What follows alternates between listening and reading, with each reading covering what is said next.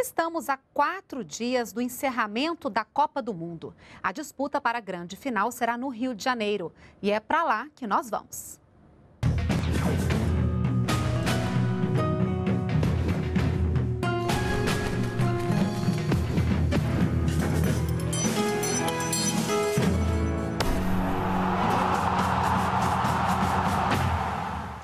Do Centro Aberto de Mídia, lá no Rio de Janeiro, Thaisa Dias traz pra gente mais informações. Boa noite, Thaisa.